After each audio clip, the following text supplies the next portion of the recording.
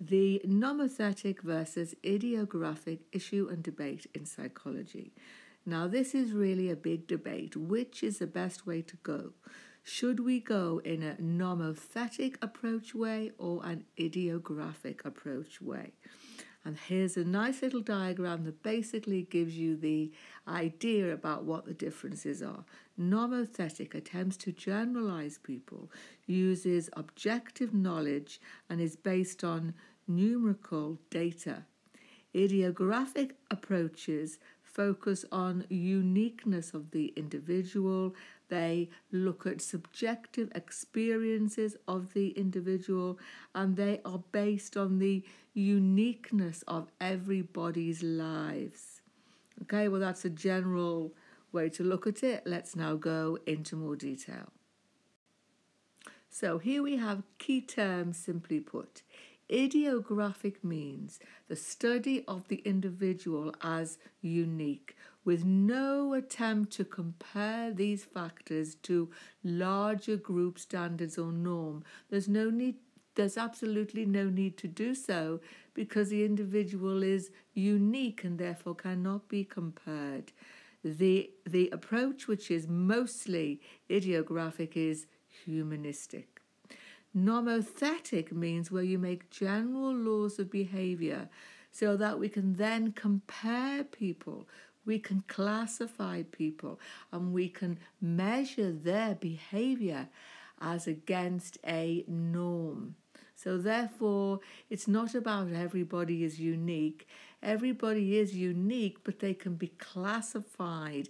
It's worthwhile trying to classify them just to go back, in the ideographic approach, there's no need to classify you because you are unique and you cannot be compared to anybody else. So, therefore, in the nomothetic approaches, such as biological, behavioral, and cognitive, future behaviors can be predicted and controlled. So, this is therefore largely about science. Here's some key points for AO1. So once you've learned those points, you've got a two marker, but let's get some more detail for a larger question and for AO1. First point, idiographic approach is seen as linked to qualitative data such as case studies, interviews, and all self report measures. Okay, so they are really about trying to find out why you are unique, why each person is unique. Therefore, the only way to find that out is self report data. So, thus, we have humanistic psychologists such as Maslow who are not interested in trying to make laws of behavior.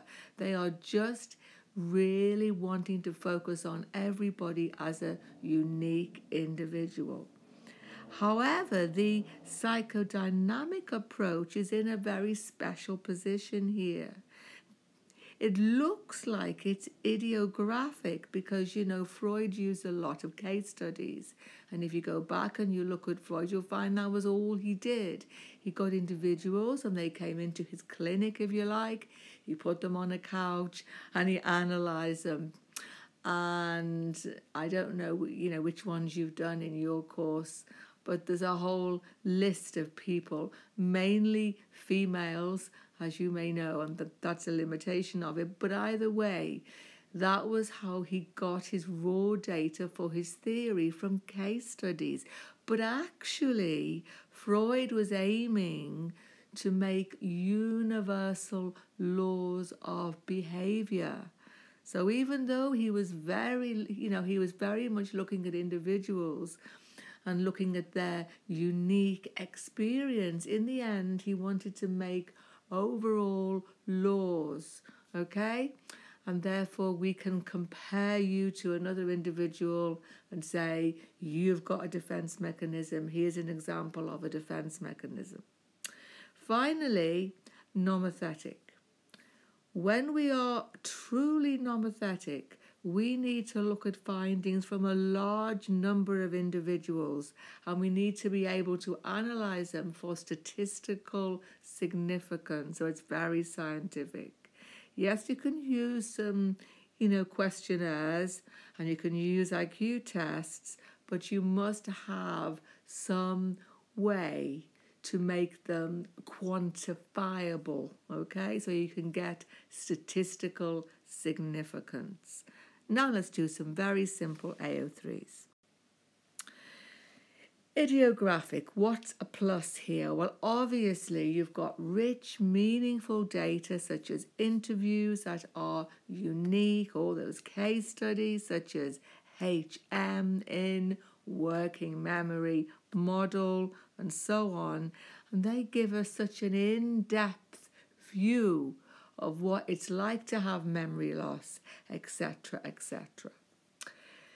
What's a minus? Well, it has got a complete lack of scientific method if we take this approach. It can't be claimed to be scientific. A very good example is, of course, Freud himself, and he's always making generalizations from one particular person and making general laws of you know, behavior. So we have little Hans and his fear of horses, if you've done that one, and making general laws of behavior. Okay, so you need to go back and look at Freud and look at the particular studies which you have done, you know, within your class. Finally, nomothetic, a plus. And this is just the opposite. It's got standardized procedures, very scientific, and we can absolutely decide are they valid and are they reliable, so highly scientific. And when we use these approaches, this will give psychology scientific validity. And that's important. Minus, obviously, we're going to risk looking at the whole individual if we're just looking at a tiny weeny bit of their behavior and putting them into categories and then trying to label them. So, you know, here's a good example. If you know that you've got a 1% risk of a mental illness, like maybe you know, uh, schizophrenia, it does not tell us much about what it's actually like to have that disorder. It just says 1% risk, 2% risk, or whatever, you know. So human experience is minimized and not actually documented. So we learn about schizophrenia as what is a genetic risk, what are the symptoms, but not what it's like to actually experience schizophrenia. Okay, well, I, I certainly hope that was a very quick video and a very simple way to really understand idiographic and nomothetic approaches. Good luck to you all.